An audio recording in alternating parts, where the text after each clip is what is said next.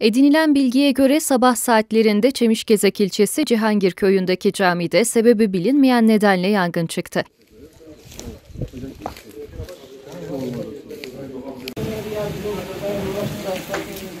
Yangını gören köylüler durumu 112 ekiplerine bildirdi. Orada yol Buradan şey de geldi. Olay yerine Çemişgezek Belediyesi itfaiye ekipleri ve Kemaliye itfaiye ekipleri sevk edildi. İtfaiye ekipleri ve jandarma personelinin müdahalesiyle yangın kontrol altına alındı. İtfaiye ekipleri ve jandarma personelinin müdahalesiyle yangın kontrol altına alınarak söndürüldü.